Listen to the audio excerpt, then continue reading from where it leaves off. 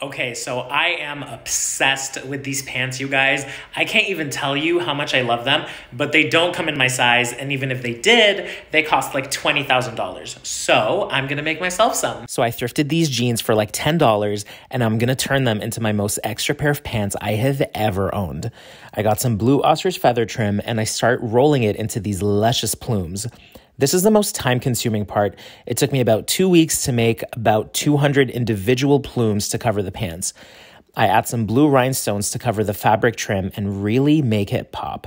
Once they're done, I begin gluing them onto the pants.